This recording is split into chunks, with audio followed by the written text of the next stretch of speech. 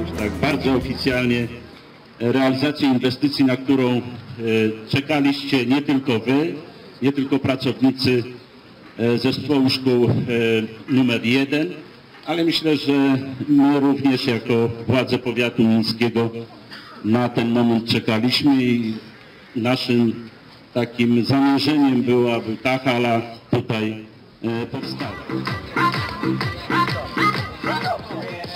Mi brak. Nie chcę nawet już na żaden znak. Próbuję podejść i widzę już, że Ogląda na mnie i uśmiecha